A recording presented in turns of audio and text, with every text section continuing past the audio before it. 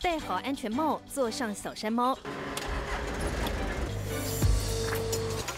陈建仁操控它驾轻就熟。啊，我老公啊，建仁兄啊，铁啊，慢啊，然后那阿姨再环保，好好好，他没有第二季。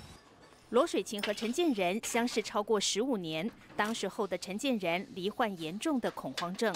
想到以前发病的时候，哈，血压一直飙高，哦，飙到都在两百二左右，哦，那感觉快要世界末日的感觉，那心情非常的沮丧。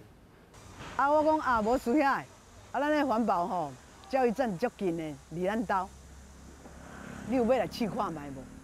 自来做环保之后，我把注意就是集中在这里，然后配合吃药，好让我的身体慢慢的好起来，也更健康。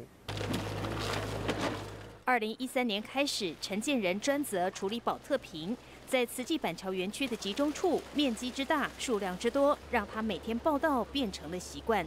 一天会到十二车。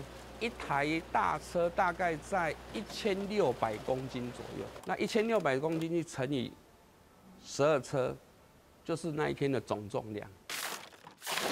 夏天冷饮畅销，艳阳下不做来不及。那当我们做完这个勤务之后，一定会汗流浃背，衣服都是湿透了，哦。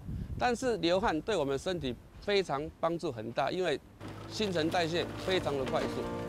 重拾健康的陈建仁心中有大愿。其实我的感受，我是觉得说，最好以后都没有保特瓶，让地球能活久一点。百新闻之声美职工苏玉云、吴敬辉、江文龙台北报道。